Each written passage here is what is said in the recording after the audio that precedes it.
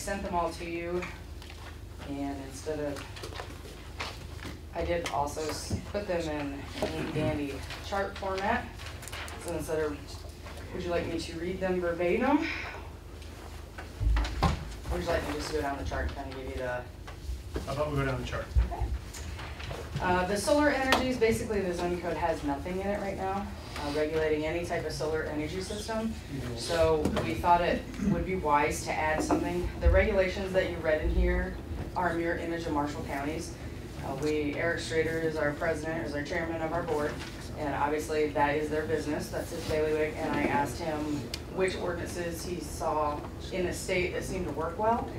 And he said that Marshall counties seemed to work very well and they were written clearly and easy enough um, to not only regulate the industry, but also for people to understand. So what you really read in here, uh, if you read through them, is verbatim of Marshall County. Um, It really, it was, it was a very easy to read and understand ordinance, and it did the purpose. So the nuts and bolts of it is basically you're allowed the micros and the smalls in residential areas. So anybody in the city in a residential district could have the rooftop mounted um, or antenna mounted solar um, facilities and our systems. But then once you got out into the commercial and the ag, that's where the larger systems were allowed. Some are special exceptions, some are, um, I think the majority of them are special exceptions. So those are basically the solar energy systems. The manure storage structures, again, we really had nothing in there as far as setbacks on these, and this has more to do with the ag district, which there is none in the city. But just as an FYI, the board did um, actually define those, and they require a permit, and then they also um, added a setback so that they would be set back off of the road and off the property lines. Um, So that, that's pretty much that. The privacy fences, that was a clarification. Um, At one point, the language, when it actually went to an area, was deleted out of the ag district. We needed to fix it, it was a mistake. So we went ahead and we clarified the definition a little bit, we added it into the ag district to make sure that was clear, clear. Again, really doesn't apply to the city, um, but the definition does, and it was really just clarification that the fence could go on the property line when that um, incorporated area or in the in the county, the unincorporated area, that legislative body chose to do that. I have two that chose to put it off the line, but unless it specifically says that, it can go on the property line. The landscaping codes, this one does affect the city, and uh, what we were finding in commercial districts, there's a requirement for any new building to have a perimeter plantings all the way around the building, and to also have a number of trees planted, uh, to keep some green space, whether it's commercial, or industrial. The problem we have is that some of our commercial entities build three hundred by hundred and eighty foot buildings, and two sides may border a fence row, you know, specifically thinking of one out in the county, and maybe a right of way that already has trees on it. And perimeter plantings, um, aren't very conducive to the business. Know, I have one business that built a very large building, again, three hundred by almost two hundred building, and in between the two buildings was concrete, and that was the whole purpose, they wanted to use it for storage, where you can't put a perimeter planting around that. So what the board wanted to do was actually allow for an alternative plan to be presented to the planning commission for landscaping, so say for example, a pilot is a prime example, to have perimeter plantings all the way around it or the internal islands inside their parking area, it's not conducive to their type of business because of the turnaround space with the vehicles and the semis. So what they did was they took the same amount of plantings and they put them in other areas that did work well for them. And so those alternative plans can actually be presented to the planning commission to make it a little bit easier for that landscaping code to be followed and, um, produce the same effect. So that's what you see here. And then they changed twelve inches to eighteen inches to make it the same across the board. And then signs, again, this affects, um, the city. This would be in the historic downtown, the downtown commercial, and the village commercial district. Currently, the code says that any sign has to be ten feet off the right of way. But the problem is that all three of these districts have zero setbacks for the buildings. So basically, you have a building that could be built on the property line, but the sign has to set back ten feet. And it's very difficult for businesses, especially along Ninth Street and then Main Street, uh, twenty-five to the south, to follow that, um, to actually be ten feet off. So what the board did was they took that out, made it a zero setback, but then put in language that said that the sign can set, have a zero setback, but it cannot be a vision clearance issue for alleys, drives, or roadways. Um, and it cannot, and no portion of the sign can set within the, uh, the right of way. You know, project into that, so it was a nice offset. And that's basically it. Um, any questions? Anyone? Questions from, the- questions from the public? All right, um, motion to close the public hearing. So moved. Second. And saying all in favor? All right. Move on to, do you need us to jump to your next, or are you good? Well, one thing kind of going with the amendments, what they also did was amend the fee ordinance, which uh, the county council did approve, but I did, wanted to give them to the city uh, council just to show you what the differences were. And again, um, I pulled, just for your knowledge, I pulled, I believe it was seventeen counties, but every county that was five thousand uh, population around us. So whether they were five thousand less or five thousand more, I had about seventeen counties. There were, I think, three or four of them that did not have fee structures. They don't charge fees, smaller counties, uh, or no zoning. Some counties in Indiana still don't have zoning. And, and this is only for the zoning code. This doesn't have anything to do with your building code or your sidewalks. Um, and then I also pulled the surrounding counties that were larger than the five thousand, Cass, Miami's, Marshalls, you know, all of those. So all total, I think we had around fifteen that the board compared to. And, um, they tried to pick the happy medium between all of it and kind of bring us up to the standards of the counties around us of the fees they charge. We're on a lower tier. We haven't changed it since two thousand and eight when the area came in. So the biggest change would be the location improvement permits went up from twenty-five to fifty. And I gave you both. Um, I gave you the new, which says proposed, but again, last week the county council approved it. Um, and then our existing one. Two things I wanted to let you know specifically, you can kind of compare those two. I wanted to let you know that back in two thousand and eight, one of the things that the city wanted was a different subdivision fee, and the board did not change that. So that, that was the choice of the city, to keep their commercial primary plats at fifteen hundred, and, um, but within the Rochester Incorporated District limits, it's only a thousand. So the board did not, and you'll see that, the board did not change anything that, um, the city council specifically asked for in two thousand and eight with those fees. So, um, the biggest change would be the BZA applications going from sixty to one seventy-five. They actually added a mobile home park fee, which wasn't really in there, uh, just because the mobile home park is basically a huge subdivision, uh, with lots of interworking parts that we all have to deal with, so. Um, they changed that, left the five hundred on the zone map amendment, and then put in solar array, which again, these fees mirror Miami County, or Marshall counties, so. I was gonna ask that question, is there a definition of micro versus small versus medium versus large? Yes, we added those definitions in. Okay. Any questions on that? Thank you. Brian, there was another um, executive session that you guys had that you have to to sign. We listed on the first go with the first one, Oh, common capital. okay. Sorry, I missed that one. Well, we need to, anyone have any questions or corrections to that executive session? That was included in my motion, that we approve both of them. Oh, I think it was. Who seconded that? Anyway, Ryan? Was that in your second? Did you? I just seconded your motion. Okay. All right. So go ahead and put Marty down and Ronnie Yep. down. Yep. Okay, um, go ahead and open up our second public hearing, the additional appropriation uh, for the fire engine purchase. Anyone have any questions, comments about? Chief's just ready. Chief is- He just There he opened the, Oh, he is.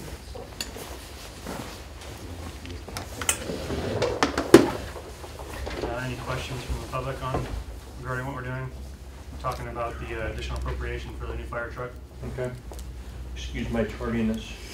It's all right. It's only happened once in six years since I've been here. so- Will you tell us the amount?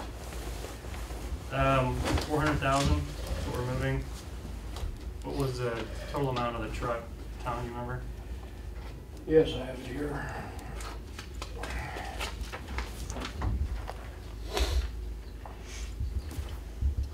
Um.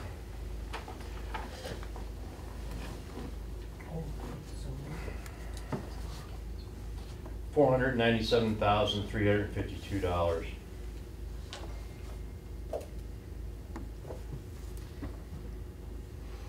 Then we'll play a progressive payment uh, at the contract signing of three hundred ninety-seven thousand eight hundred eighty-two dollars, leaving a balance of ninety-nine thousand four hundred and seventy uh, when the project's completed.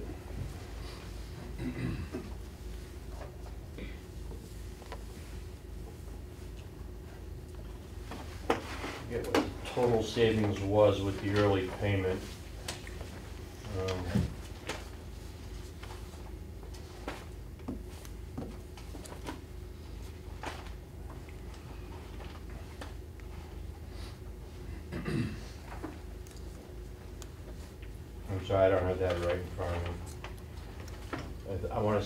it's like 504 originally, and then with the early payment, it knocked it down to the, the 497.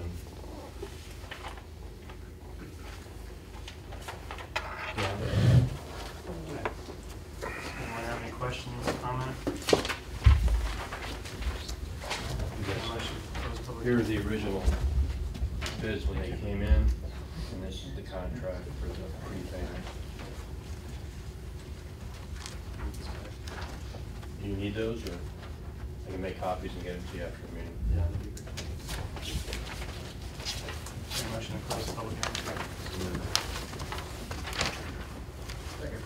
All right, all those in favor? That was Mason and Brian. Yeah, now we'll open up our third final public hearing, the MSRP grant. hearing.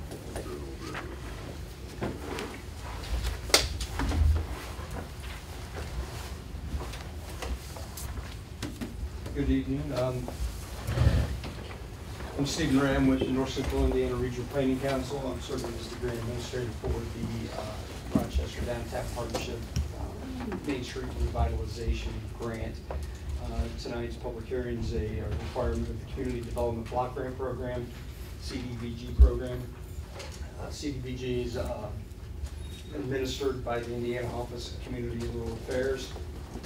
We typically refer to them as OCRA or OCRA. Um, The Main Street grant requires a local government to serve as the lead applicant. The city's been kind enough to do so uh, in partnership with the uh, Main Street organization. Um, One of the requirements is for the project area to be determined, as- designated as slum and blight. Um, We have a resolution that will be in front of you all shortly for that. Um, The block grant program approximately has $2 million each year for the MSRP uh, grant. The maximum grant amount for that program is six hundred thousand dollars. It's, the city's uh, requesting six hundred thousand dollars. On Friday, there's a twenty percent local match commitment. Um, Local match sources for this particular project is, um, the city's contributed twenty thousand dollars for architectural fees. Uh, Fulton County Community Foundations offered in uh, twenty-five thousand. Uh, The redevelopment commission is coming in with fifteen thousand, downtown partnership is at five thousand, and then a total local investment of ninety-six thousand, seven hundred and twenty dollars. Um, The amount of the grant going to benefit low to moderate income individuals is two hundred sixty-six thousand, six hundred and forty dollars. That hits all my talking points for this evening. So with that, I'm gonna turn it over to Harry to talk a little bit about the project, unless you all have questions for me at this time. Harry will uh, give a brief expla- explanation of, of where we're at in terms of projects. Here we go again, final stages. Um, yeah, as I said, the application is due Friday. And, um, in the, what has happened since the last public hearing is basically the, um, architect met, architect and I met with each one of the building owners and finalized a number that they were comfortable with for their project. We had several properties that did drop out. Um, we are now at twelve different addresses, ten different properties, including the Times Cinema. That allowed more of the available match dollars to be raised, so the projects got more grant funding for the more expensive projects.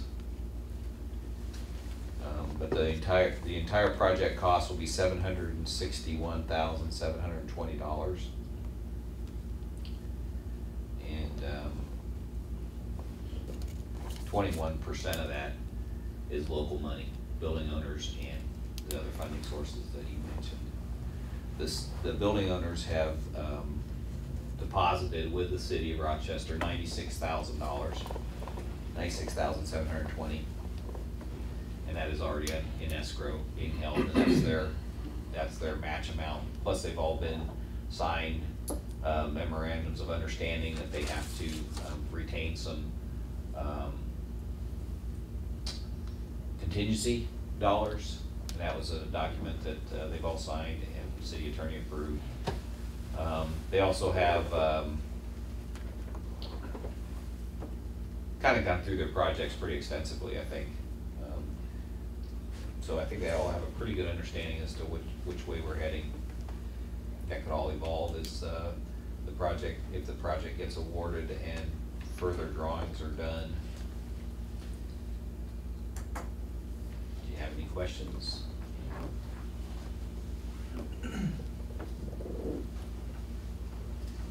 Questions from the audience? Questions or comments?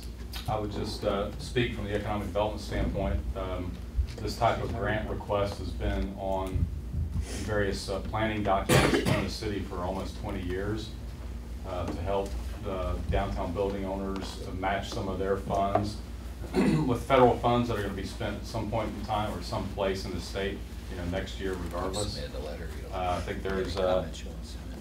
what, a hundred and uh, sixty thousand dollars of local funds to match six hundred thousand dollars in federal dollars.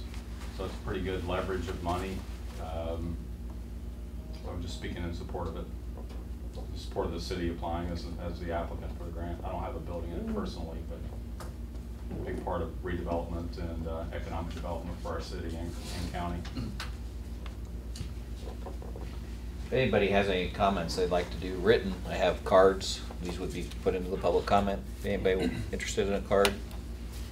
Pen? What would happen if we didn't get awarded the money? What, your name, please? Andy Schatz, what would happen if we didn't get awarded? What would happen to the money in escrow? Would it just go back to the building owners? Mm-hmm. Okay. Just And we curious. apply again, Yep. hopefully. Yeah, absolutely, yeah. Yeah. Just wondering. So, I, you know, potentially, six or seven projects we're competing with, everyone got fun too. Sure. It's, uh, Competitive. it's very competitive.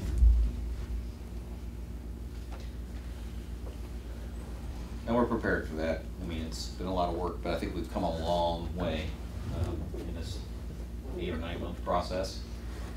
And just everybody getting an understanding about it, getting all these building owners to kind of get behind it and understand what the process really was, getting the city involved. It's been a lot Sure. of, um, learning curve. But I Been a lot think, of work. been a lot of work, yeah. And I think as Harry mentioned, uh, part of getting funded through this program is being persistent.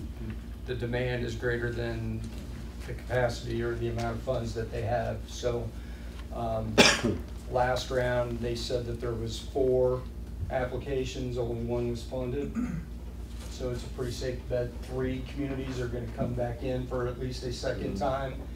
So if we're not funded this round, we can reload in the spring of next year and, and uh, be one of those repeat customers next year, so. We also, since the last meeting, have uh, solicited public comment and put a Survey Monkey uh, online uh, survey out there, distributed that through email and Facebook, and also it was printed in the Sentinel. Um, We had very good response to that. We had uh, about ninety-two fill out the Survey Monkey and over twenty responses in the Sentinel, including written comments that will be included with the grant application.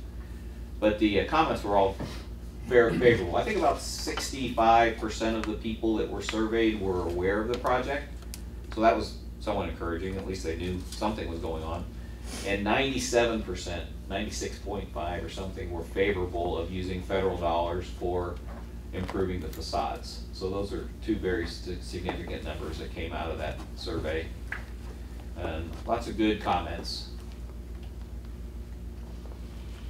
Yeah, seventy-nine percent were likely to So we visit need downtown this, if uh, improvements were made. signed uh, tonight. Well, yeah, it's actually, uh, done, it's a resolution. Yeah, that would be taken care of tonight for the Friday, turn it, okay. And now I can derail it. I'm sorry, It's all right. I didn't mean to do that, right? Any any questions? There we go. Thank you, gentlemen. Um, Entertain a motion to close the public hearing. So, Liv and second. Mason, John. All's in favor? All right. There was a sign-in sheet going around. Did everyone get a chance to sign in? All right, Casey, we're back to you. Um, I think they've got it area back there. Plan, BZA, comments. Can you, can you tell me, um, is that, is that our appointment that's leaving, or is it the mayor's? No, they're, um, they're actually both yours. Okay, Yeah, because there is a, um, not only your council member, um, but also the BZA member. Um, Bob Kennedy, he's been on our board since two thousand and eight, well, I think since two thousand and eight, and um fantastic member. His experience and knowledge and his demeanor will be missed, um, his intelligence and what he brings to the board, but he is on to bigger and better things and just asked not to be reappointed. So we'll give him a break for a while and maybe we'll come back at it. But, um, so yeah, that is your, it is a four-year term and they have to sit on both the BZA and the planning commission.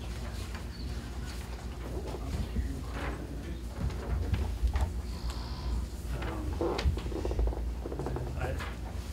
hundred thirty-one pages, so it's in there somewhere. I can't remember what's your deadline. They, well, his term is up, his last meeting is December. Okay, So until you appoint, in January, there'll be, you'll be down a member so on the as long as we can appoint someone in December. Yeah, Genuine. yeah, that'd be great. Yeah, You guys do a, a meeting early in January or? December eighteenth, that's further on my list. Not early, not Not early messing in your list. January. I didn't know if you did one the first Wait week a of minute. January or you just had your regular meeting. It's a week early, It's a week early in January too. just this year. At least time. Yeah, if you could find somebody great in December, that'd be awesome, because then they could be at the January meeting. So you need that back on the agenda for December? Yes, please. And they can't be elected or appointed to any board. The BZA by state law, they can, they have to be citizen Joe, and they have to live inside the city limits. So, couple criteria there. Okay. Any other questions? Did you have, did you have anyone that you wanted us to consider? We're on our own. Well, I know there were some names thrown out before, um, I don't, off the top of my head, I'd have to sit down and think about it. But when Teresa was, was, um, appointed, I know there was four or five names in the list. If anybody comes in and asks, I'll let you know. All right. Okay, thank you. So before we go any further, Steve Rice. All right. that's one. Seems a little late in the meeting here, but I want to welcome Gary um, to the council. He's taking Karen Miller's seat. Um, We have discussed, he, Casey, she leave, right there. Change seats on me, what, what- what's that about? Um, Gary's agreed to fill in for Karen on the area plan, Great. so, um, welcome. Thank you. Okay, next, um, just a reminder, our December council meeting will be on the eighteenth, because of the holiday. Um, Moving on to new business. Everyone get a chance to take a look at the commissioner's request for the memorandum, memorandum of understanding for the area plan office. Okay, let's start the fun.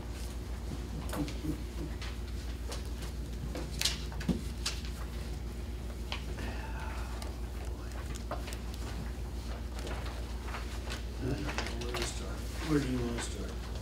Thinking it, just say it. I'm sure she'll edit it for the paper.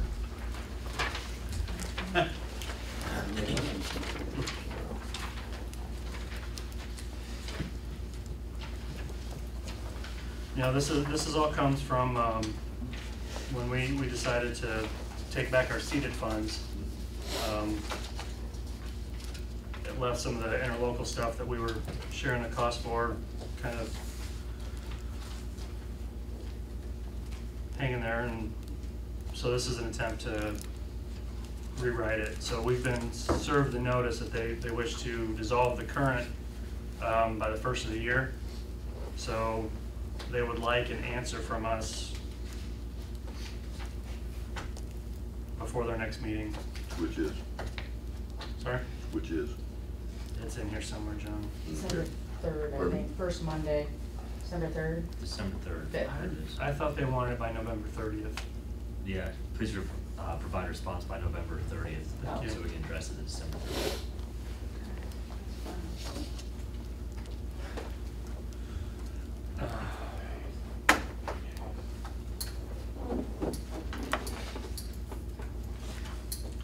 Anyone have any questions? Maybe we need to.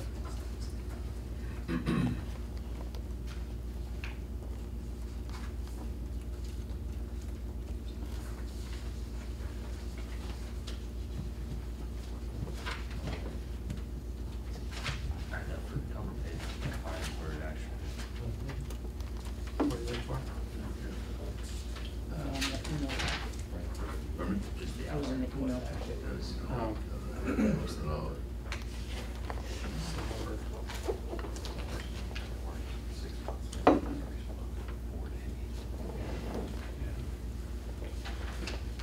After you see the maps. That- Then yeah, you'll- that'll be Did we- nice, okay.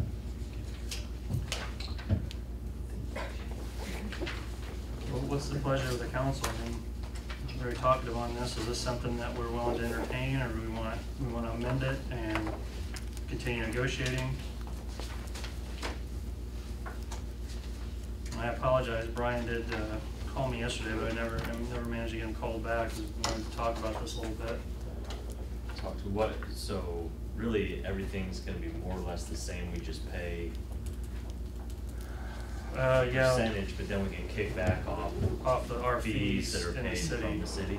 Yeah, I guess the one thing you look at, um, the amount they're wanting, Yeah, that's could we, could we it is. fund an apartment for, for for less than that, I don't, I don't know that we could.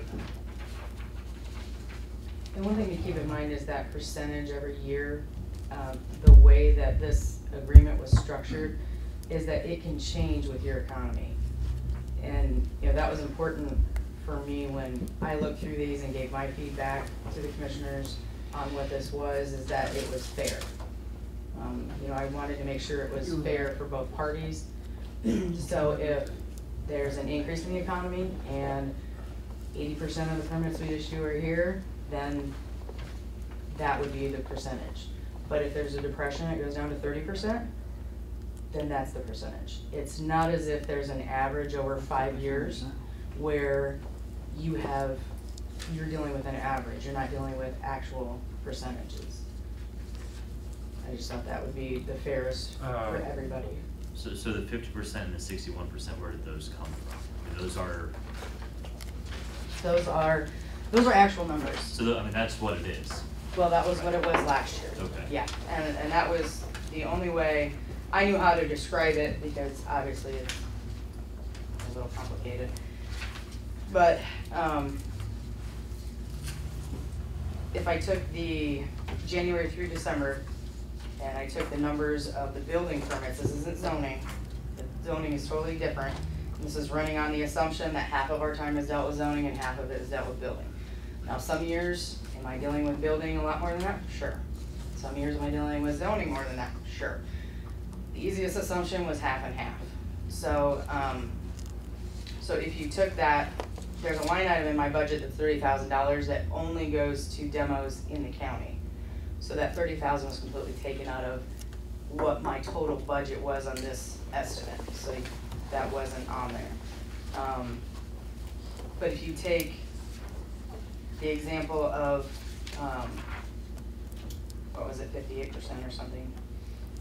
Sixty-one percent of the total two thousand seventeen building permits were issued in the city of Rochester. Then it would be sixty-one percent of that half, you know, of half of the budget minus that thirty thousand dollars. Now, next year, that number might be fifty-two, so then it would be fifty-two percent. Um, and since we're talking about that, the sidewalks are different. The sidewalks would be impossible for me to say it's X percent. The reason why is because if you build a house, uh, the city code requires you to put a sidewalk in. We don't charge for two permits. You come in, you get a permit for the house, it includes the sidewalk. We do the inspections for the sidewalk and the house and everything that goes in with that. Um, so I don't have a permit to look to, to say, we charge X amount for a sidewalk permit on those types of projects. Um, the work orders for the city, lately, the majority of the sidewalks we've been doing are for the city. Those are work orders. You know, our inspectors may be on site twenty times, there's no fee, there's no charge on that. So when I was asked, two percent seemed like a fair number. Some years, it may be, this year would be more. I spent a lot of time on sidewalks this year. I was just out on one today. I mean, we, it's just been a busy year for sidewalks. Now, last year, two percent probably would have been about right. So that number wouldn't change unless the council asked for it to be changed or the commissioners did. And then you guys would come together at the table on that. But, um, cause you're about to start a 50-50 program, which may ramp that up a bit. So then, sorry, the spot at the bottom, of the twelve thousand five hundred seventy-nine, is that the Rochester fees that would have been reimbursed in twenty seventeen? Correct. So Um, really, their total would be forty-six, roughly forty-six thousand. Correct. And there's sixty-one percent, I didn't see that in here, is that, is that just gonna be a set number, or are we gonna look at that? Yeah, what's the, That's- what's the evaluation period when we, when we adjust that Yeah, basically, um, on an annual basis? it states that, my pages are. Right above the box, it says, this example for twenty eighteen fiscal year and every year following shall be calculated. So it sounds like it would be Did you have any issues with this at all, Andy? No, no, I, I understand where it's coming from.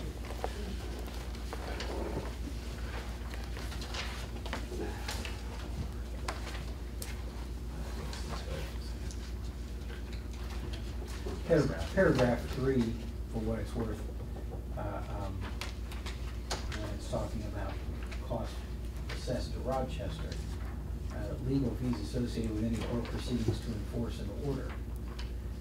Keep in mind, you already paid that. Mhm. That's not, that part of it's not changed. So, FYI. Not finding in the old one the amount of time required to terminate the agreement. The old one didn't have a time frame. Okay, so this one, they, they want a year. Again, we thought, My assumption is because of the way we're doing the fees coming back at the end of the year, you do it in midstream and kind of difficult with the accounting. as far as the new timeline and the new one, I'm Yeah. sorry, my copy didn't copy page two, so, but, um, that sort of something that, again, I didn't believe was very fair. I mean, if the city elects to opt out of the agreement, you know, or if the commissioners did, I mean, you're going to need time to set up an office. You're going to need time to have personnel hired and trained and paperwork in, in your mapping system and, and, uh, you know, there's a lot that goes into it. And just saying, oh, we're done. And a week later being like, hey, find the money in your budget to figure it out. I didn't believe that was fair.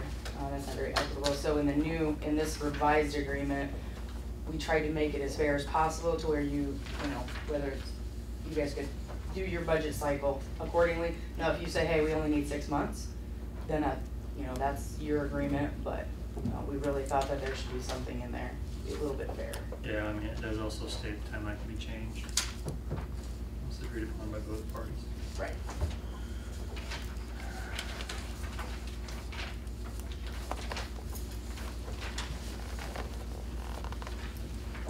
Well, you mentioned earlier that an alternative is setting up our own department. Yeah, right. I, I am really not in favor of trying to do that for a number of reasons, but one of them is right there. Um, Casey does an excellent job, in my opinion, and uh, I wouldn't want to lose that expertise at all. So I'm more in favor of agreeing to, to the new agreement as opposed to even examining a, a separate department for the city. Just my thought. There's a motion, I would, I would second it. Well, it's not, And we don't need one there. But I know, but I'm ju, I just. we're just I- discussing, I'm ag- I'm discussing, agreeing. we need, we'll need to reach out and then we'll make it official the next meeting. Okay. Well, we need to, don't we need What do to you make need it done in official? three 'Cause They days? want it, they want it in three days, Um, I, just. I think they just want to know our, our, in- what our intentions Yes. are. Exactly. So if we just tell them, yes, we're, we're agreeable to this, um, I think that'll suffice until our next meeting to make it official. So, That, that's up to you. I mean, you can- I, I, don't- nothing, nothing prohibits you legally from, uh, uh, approving it now and being the first party to sign a bilateral agreement. I don't think there's anything that requires. Okay. So I guess, Do you, do you have a sense for that? Do you, do you think they just need kind of a, an idea that that's, we're in agreement, or? Well, they already signed it. Uh, Okay. So they've already signed, I'm not sure what copy you received, but they've already signed it. So unless you have changes or questions, or you want additional information from me on how the office works, I mean, I think pretty good relationship with a lot of you, except poor Gary. He's kinda new on this, but, um, any questions, I mean, but yeah, they've already signed it, so whenever you're ready. I don't see a signature sheet for you guys though. It's Yeah. at- right at the end of page eighty-six of the packet, if that helps you at all. No, that's not signed. No. I didn't think down that far. Page Yeah. eighty-six. Some of it was. I know. Um, That, I guess we can Mm. always. I don't know. I understand, uh, There's the, just to see. did you find it?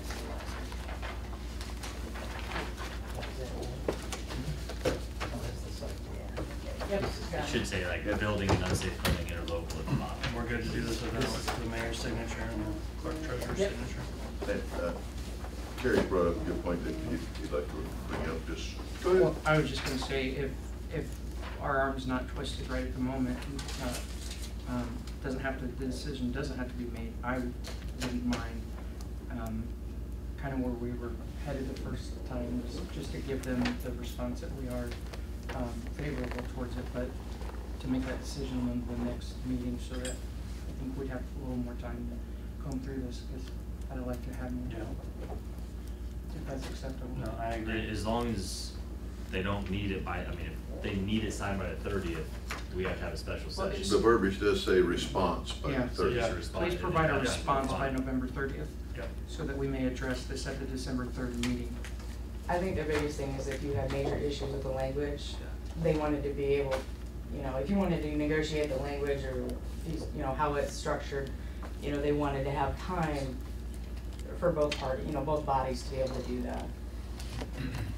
I think telling them your intention would be fine. Yep. It's understood.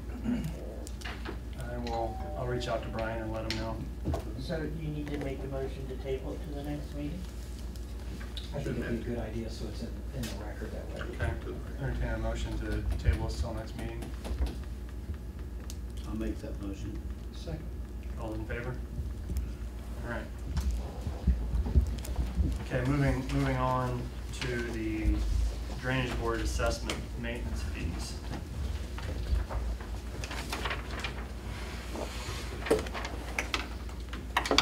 Rowan, What did we pay last year? What did we pay last year? I do, Is that part of this big master plan? Yes, it's in there, Yep, it This is. is great. yeah. Well, it was, actually, it was a separate attachment in our packet, Okay. because it was uh, probably another sixty or seventy pages. something like, when you see the number thirty-seven thousand, Yeah. Okay. that, that's what it is. Okay.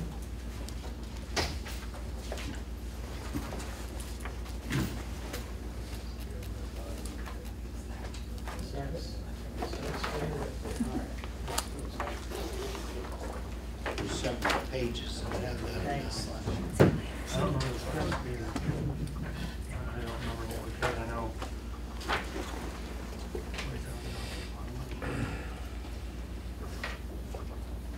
It's a small price to pay if the flood happens. But-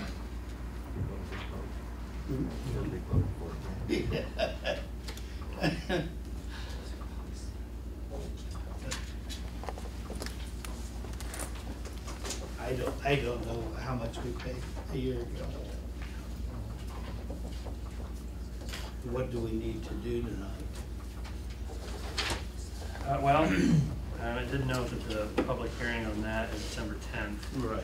Um, I would assume that's there in case we're protesting.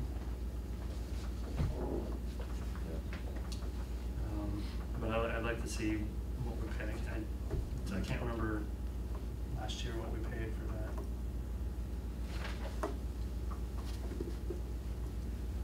Um, it I know. may behoove us to, uh, have Shada look that up or Carolyn look that up at some Yeah. point, and we may need a, uh, special meeting if we Yeah, I- need to. in I the agree. First few days of December. What it says the public hearing December tenth? Mhm. So we need, We, we'd wanna have prepared before then. We need just the amount that was paid last year? If we could see the assess- assessment from last year. Okay.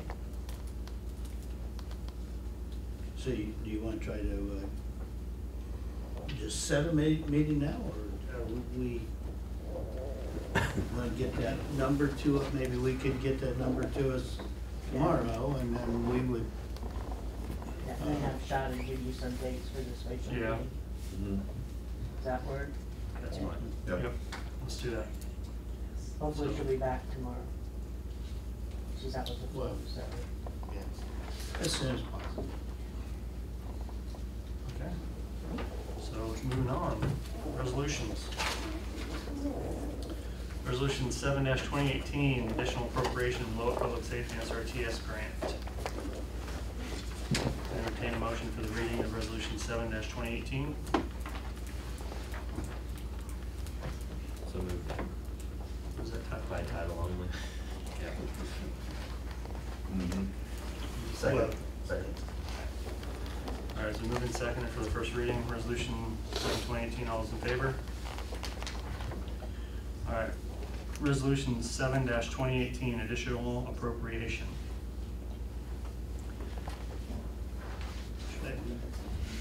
Might note that the four hundred thousand that Tom talked about is, is what's basically being moved. to cover the down payment on the new truck. All right, um, this is a resolution, we can go ahead and we only need one reading. So I'll entertain a motion to adopt resolution seven twenty eighteen. Do you have a copy of that? I don't see a copy in your file. Uh, I have a copy of that I do. I printed off. Yeah, that's Okay. one. I'll make the motion to Uh, approve. actually, we have one right here. So you can use that for your signature? Yep. So moving seconded, all those in favor? Was it seconded? Jason made the motion? Mark, Already made and I second. Okay, thank you. All right, entertain a motion for the fir, for the reading of resolution zero eight twenty eighteen. The resolution authorizing local match for MSRP.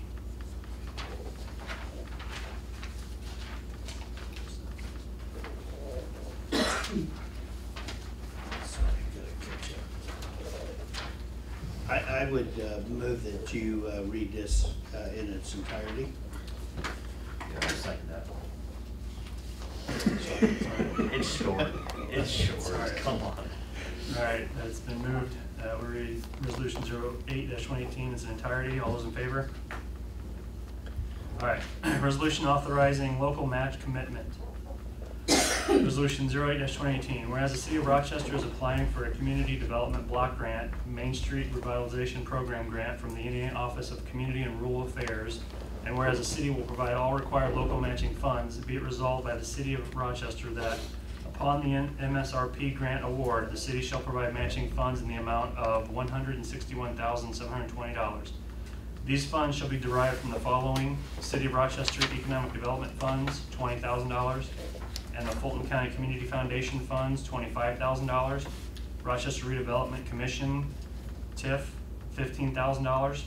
Rochester Downtown Partnership, five thousand dollars. And private investment of ninety-six thousand, seven hundred and twenty dollars. All funds are available and committed as local match for the MSRP project. All right, I'll entertain a motion for the adoption of resolution 08-2018. So moved. Second. It's moved and seconded, all those in favor? All right.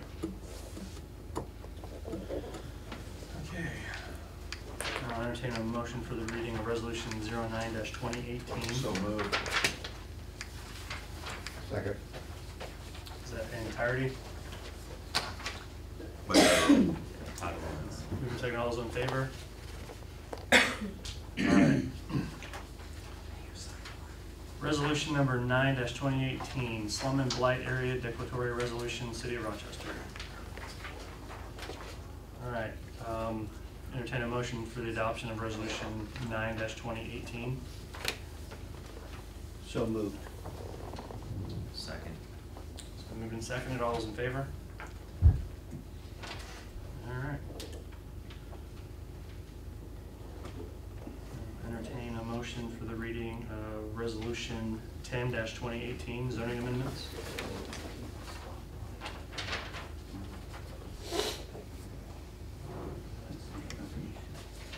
Anyone?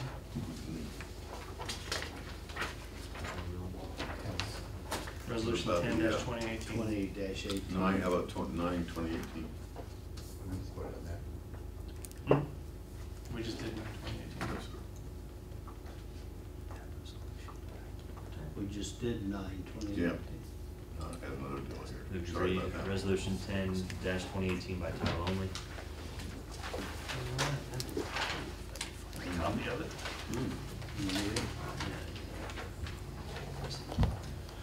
All right, did we- did I get a second on that? I did not hear one. I'll second that. All right, it's been moved and seconded. All those in favor of reading Resolution ten twenty eighteen by title only? Resolution of the City of Rochester to adopt amendments to the Fulton County Zone Ordinance. All right, I'll entertain a motion for the adoption of Resolution ten twenty eighteen. So moved. Second. Second. Moved and seconded. All those in favor? Passed. All right. Now, entertain a motion for the first reading of ordinance number eleven twenty eighteen.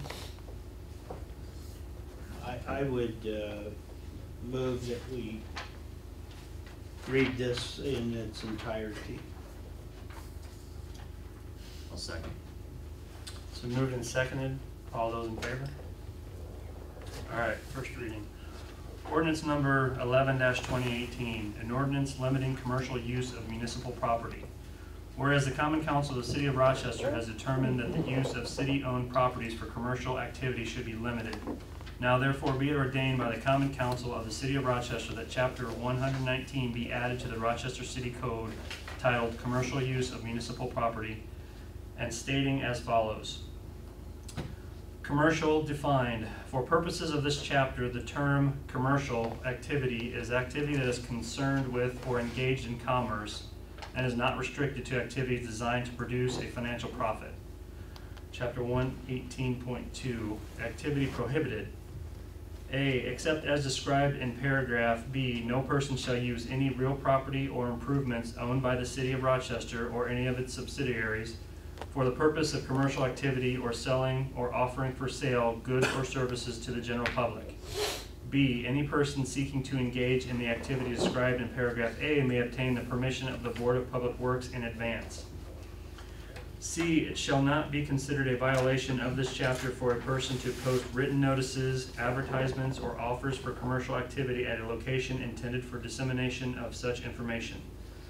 Chapter one eighteen point three, penalty. Any person who violates this chapter shall be subject to a penalty, fine not to exceed one hundred dollars. Nothing in this ordinance supersedes a person's obligation to comply with any applicable responsibilities under Title eleven of the Rochester City Code. All right, entertain a motion for the second reading of ordinance number eleven twenty eighteen. By title only, so moved. Second. Moved and seconded, all those in favor? Ordinance number eleven twenty eighteen, an ordinance limiting commercial use of municipal property. Mr. Goodman, I do have one observation. Uh, The uh, subchapter numbers over to the left should be one nineteen dash one dash two dash three. It's, it's correct in the paragraph, it's wrong in the, the the side. Or you have a one eighteen, it should be one nineteen. Okay. Thank you.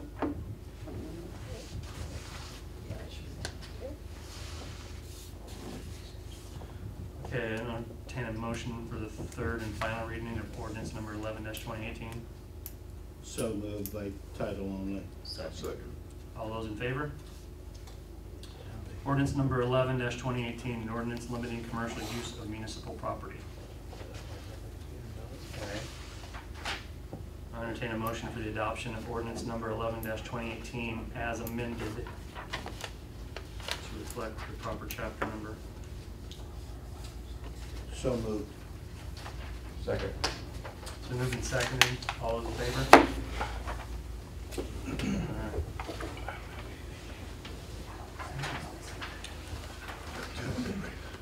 Chief Butler?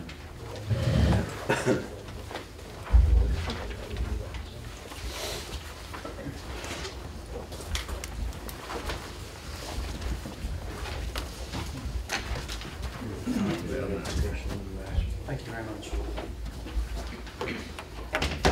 Good evening, everyone.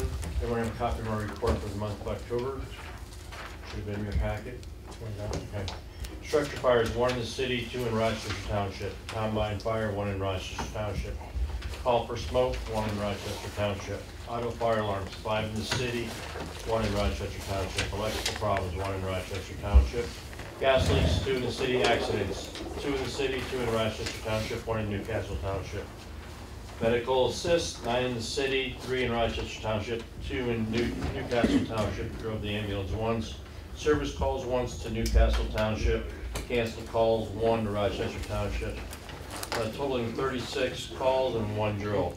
Um, Thank you for your support in the, the movement for the truck. Pending your questions, that concludes my report. I know I asked this last time, but would you remind me, when will the new truck be in It- service? It's, it's gonna be, it's gonna be a year out. I mean, the frame rails aren't even put side by side yet, so. I'm gonna go up Thursday to South Haven to Spencer's plant and actually do the pre-con. We'll go through the spec list one more time, make sure all the widgets and gadgets and switches are exactly where we want them. It's gonna marry the other two. The cabin chassis basically would be like our, our engine one and our rescue three. So we're, we're kind of building a fleet concept. They've been a good, um, dependable cab. Brian, you've got the other quotes from the other department. I mean, we, we didn't go, Mean, you went from, um, hundred and one to six hundred and thirty-one thousand is where the specs, or the prices came in for these bids.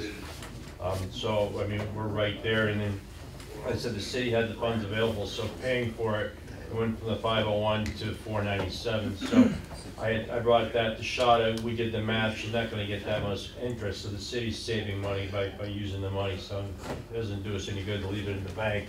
It's a project we've had in, in, in mind, it's a twenty-eight-year-old truck we're replacing, so. And, and the hinge, uh, latch broke on it this, uh, last week, I had to bring up to Craig's and get it re-welded, so. I mean, it's gonna be small things, like, like I said, it's twenty-eight years old. You can come and look at it and say, oh, it's shiny, it looks good, like, I can get John a creeper, we can go underneath and we can look at things and show you that it is time, so. I appreciate your support, Nat. Any other questions? Thank you. Cheap shot.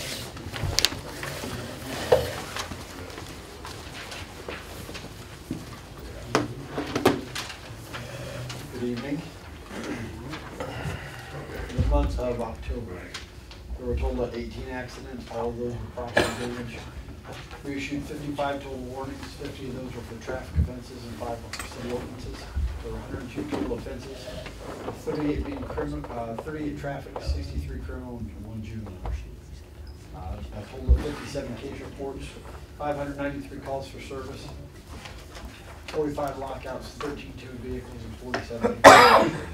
Now, about those numbers, the number of calls for service are not accurate, um, because on our own system now, we're on Cody by ourselves, we're not connected to the county anymore, and we don't have midnight dispatch, so we don't have a dispatcher there entering every incident that our guys go on. Um, we're taking steps to correct that. We are accepting applications to hire uh, midnight dispatch back. Um, But right now, for the time being, those numbers aren't gonna be absolutely accurate. Um, And the, uh, the, uh, it, we're having to change some things that we're doing, uh, figure things out on the fly. We've got a, a new way that we're trying to keep track of, uh, the number of people that we lodge. I, I know it seems like, um, that's a huge jump from the last couple of months, from thirty-four to forty-seven. Seven of those are for people that have warrants, um, and those numbers weren't, weren't able to be tracked before, so we're we're now able to track those. Um, and then we have the crimes that those people are lodged for. Uh, Gary, just so you know, um, it says we arrested forty-seven people, but these numbers are not gonna add up to forty-seven. If somebody was arrested for operating a vehicle intoxicated and possession of meth, I'm gonna write down both of those crimes, even though it was just one arrest. That way, just kind of gives you an overview of all the crimes that we're seeing. Um, other than that, we've got the uh, Santa Parade, uh, this Friday, we're gonna be shut down Main Street from 9 to 6. Tom, you're helping, right? Yes. Thank you. Um, we'll be shutting down Main Street at about five forty-five. Uh, it'll be shut down until eight thirty. Uh, also the one hundred block of East Eighth. Um, so we're not, we're not moving cars, Brian. Um, if they're there, we're gonna leave them there. No one can just come in. We're just gonna kind of seal it off. We'll have the horse and carriage rolling up and down Main Street, so we don't want any traffic coming downtown when that's going on. Other than that, that's about it. Um, getting ready for snow. Not looking forward to it. You guys have any questions? Blackouts were up again. Always steady, isn't it? What was the date of the parade? Friday. This Friday? Friday. Yeah. Uh, was that the? Thirtieth. Thirtieth, Thank you. Any other questions? Thank you, chief. Thanks.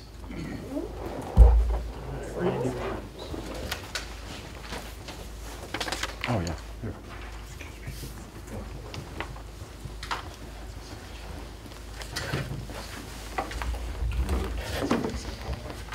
Uh, in Fourth Street, they're currently working between Clayton and Lucas. Tomorrow, they're gonna shut down part of Fourth, will still lay access for the trailer park. But there'll be hydro excavating around the Buckeye Pipeline, there's two of them, one's abandoned, one's still alive.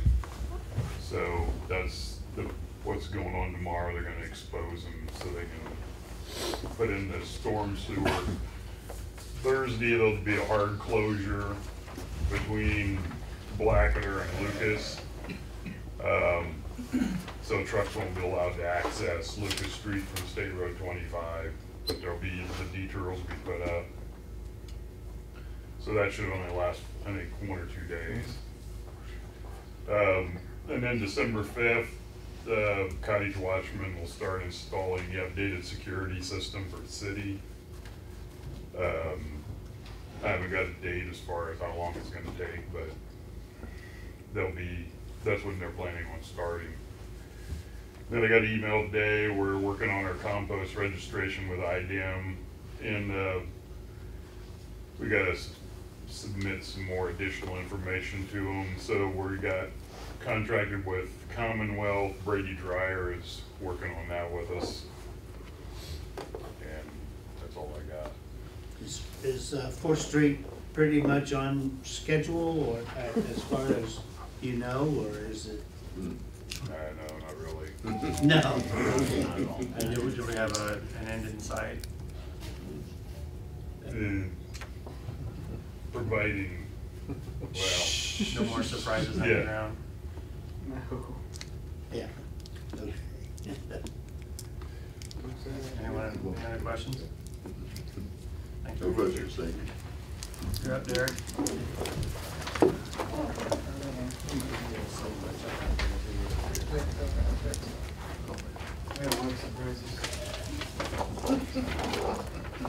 Um, the month of October, the water department did the following duties, the red meters, did orders, repair to replace bad meters, locates, backwash the filter beds, did shut-offs, swept them off the plant. Uh, we did get to mow.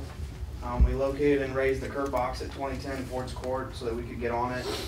Did the same thing at nine forty-four Jackson Boulevard. And then, uh, shut off valves so that HIS could lower the six-inch water main at East Fourth Street and Indiana Avenue. And then we also shut off valves so they can lower the ten-inch water main at East, East Fourth Street and Indiana Avenue as well.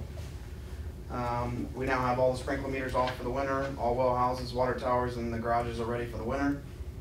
Digs that were performed, we fixed a curb stop at seven twenty-four Race Street, uh, that was broken. Dug up and inserted a new eight-inch valve on, uh, East Fourth Street and Indiana Avenue. Inserted a new ten-inch main valve at East Fourth Street and Indiana Avenue. Um, that was all basically due to the Fourth Street project.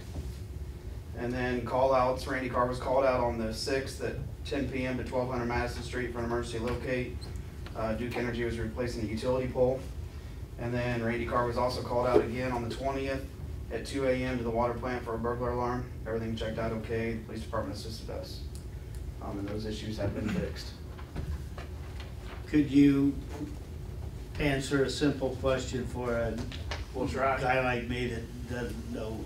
What does it mean when you raise the curb box so that you could get on it? Well, that basically means that it was buried, or somebody paved over it, or it was, concrete was poured over it. Back then, people never called locates in. Okay. So if somebody brings in a bunch of fill, stone driveway, people don't call locates in, we'll just fill the driveway full, and then when they want the water off, we have to find it. Okay. So call your locates in. That's all I got if you have any Any They questions. pour questions? cement over like my neighbors did. Right? Any questions? And then when they have a leak and they're wanting water off, they gotta wait for us. They got, well, well, first they gotta cut the sewer. That's right. On to reports of committees. Barry, do you have anything for us to down now? Uh, Yes, just the holiday stroll, brief update on that. There's a lot going on. Um, we're gonna have, um, Tina's worked really hard on that. She's got a lot of sponsors. This is a major event for downtown. It's just a short period of time, but, uh, there's gonna be reindeer downtown. There'll be ice carving. There'll be several different people singing choir chorals. There's gonna be hot chocolate. There's gonna be a parade. There's gonna be Santa. There's gonna be carriage rides. So come downtown Friday evening, and it'll be a fun night, fun night, hopefully, if the weather cooperates like last year, was a really nice time. Can even make snowflakes if you want to. Very good, that sounds good. How about snow cones? I don't know, depends if it snows. Yeah, shaved ice. Thanks. Gary? All right, uh, area plan, um, I don't know where you have a report, I'll get it for you this time. Didn't need.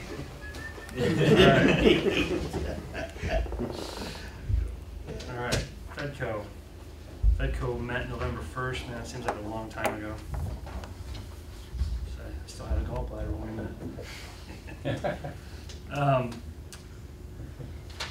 So the Fedco pitch was October eighteenth.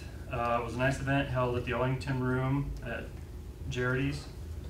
Uh, we had a wrap-up meeting and have some things, uh, we'd like to change. We'd like to have the event, event again next year. Uncorked and Broach Boutique were both awarded four thousand dollars and Crossroads Peppers was awarded two thousand dollars. Um, Mr. Woolley's still floating out there. He's, he's a property owner, so he's paying taxes on his ground. Um, site request. The partnership for the brewery that was going in down here in the old Baylor building is no more. Um, so they're looking for someone to take over the project. Wings Et Cetera had their hearing in front of the local alcohol board last week. Um, Keep in mind, this was the week before November first. They received their two-way license and they have one state license left to obtain. Uh, they also asked for a property tax abatement from the city, but they are not eligible for that. Uh, down to Ivy Tech.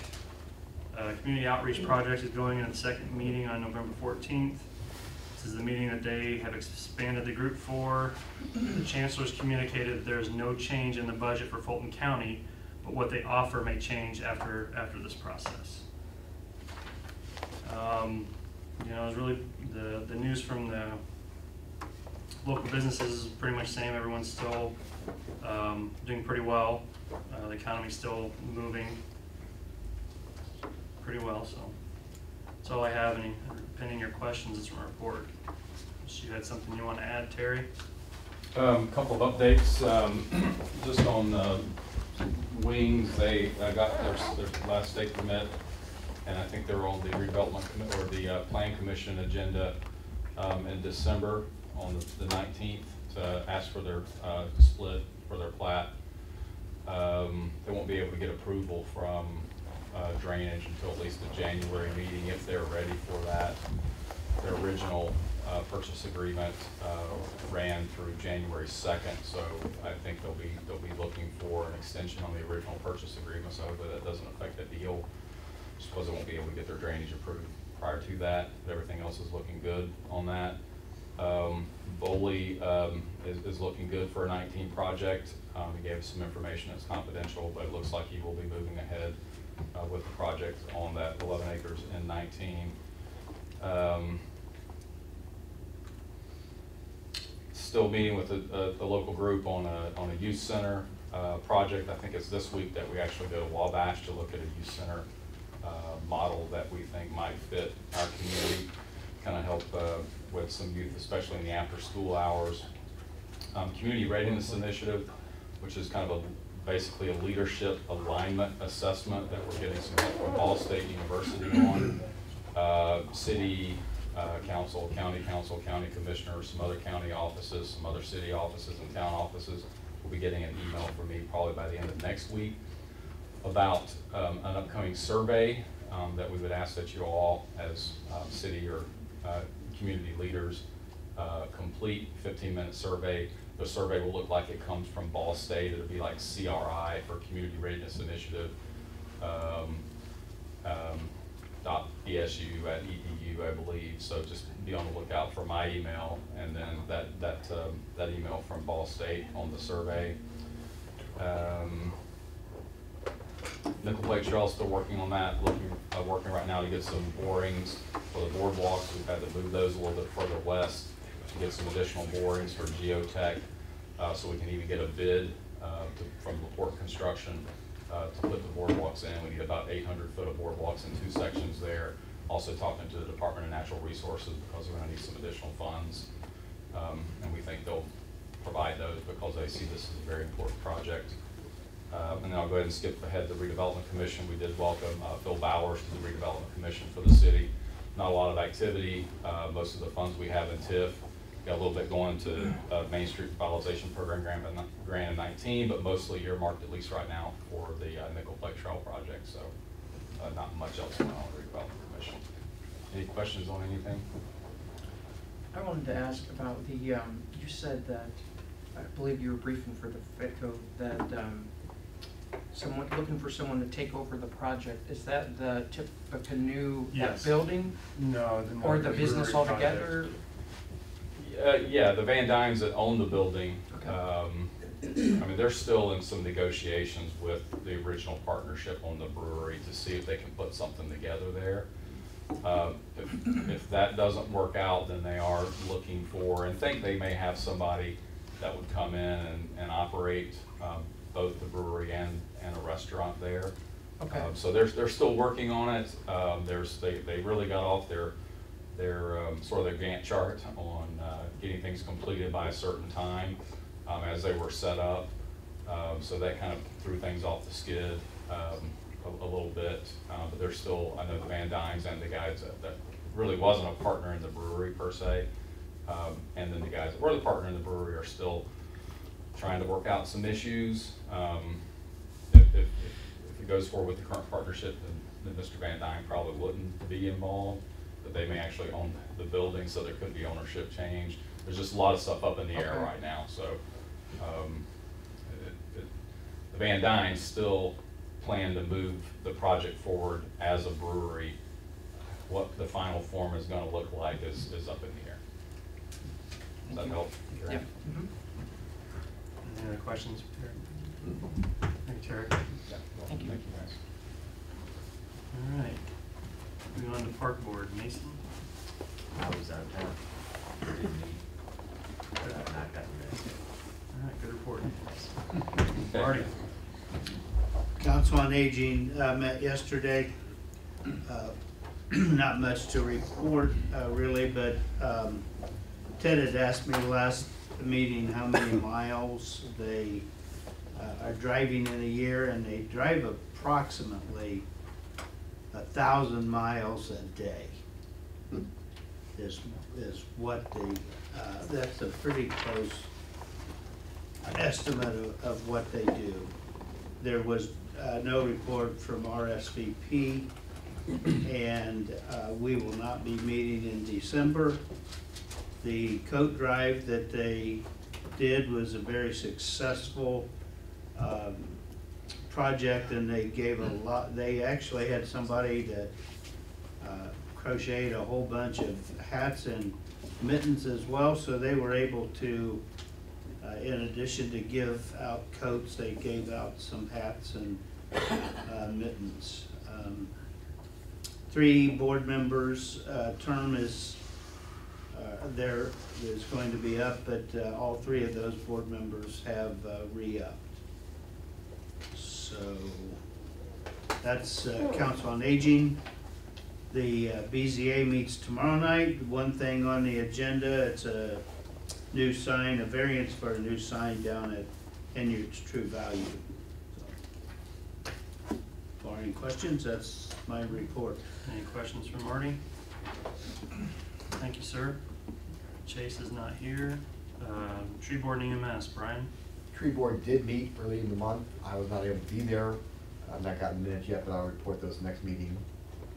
And um, EMS board did not meet this month. All right. Thank you. Water board, John? Yes, sir. Have you paid attention, John? Gotten the gist of how these reports are going? Uh, Water board did meet. Okay, all right, Uh, There was a story of why I was not able to attend, but I will not get into that right now. Uh, Was it Notre Dame or Purdue? No, no, no, it had nothing to do like that, no, not- unfortunately. No. Uh, but they did meet and, uh, update was presented to Derek, the board, uh, that, uh, from the East Fourteenth Street to East Eighteenth Street has been built and repaved.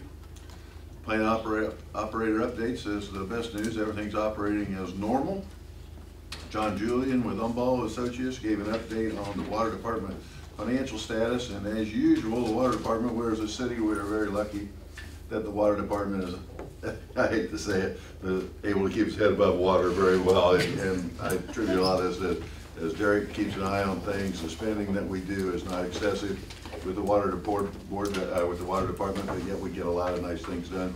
And of course, the building looks wonderful. All those, uh, updates down there have been done. If you haven't stopped in to take a look at them, you should.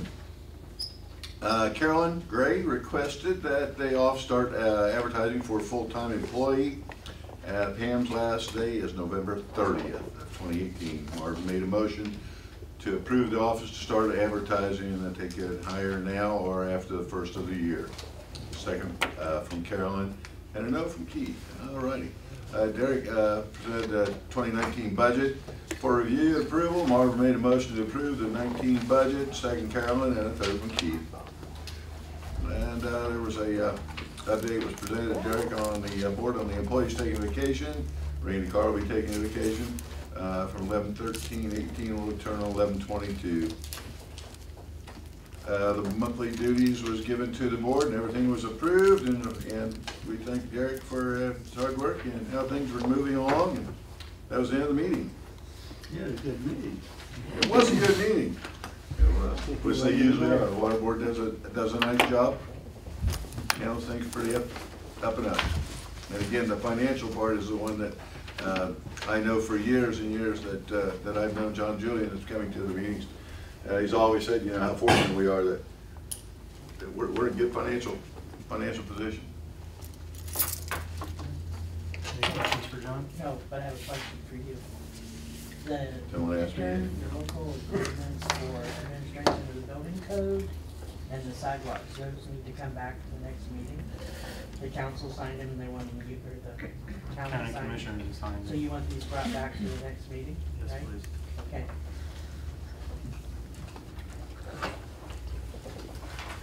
All right, any ADA concerns? Do you have anything, Andy? Uh, just, just one thing briefly, uh, part of what I do for the city are the, pursuit of ordinance violations, and they don't very often get disputed, but, uh, in the last thirty days, we did have one that we had a short bench trial on, and, uh, uh, I don't come into contact with the, uh, body cameras very much, but was able to use a body camera for an ordinance violation, so it's not just the prosecutor who benefits from that, you, you benefit it as well, so, uh, we, uh, that's a, that's a fifty dollar fine right in your pocket. Congratulations. That's always good news. Anything else? All right, entertain a motion to adjourn. So Gary probably ought to be able to uh, make the motion to adjourn these first meetings. He can second, maybe. Okay. All right, move second, all's in favor? All right.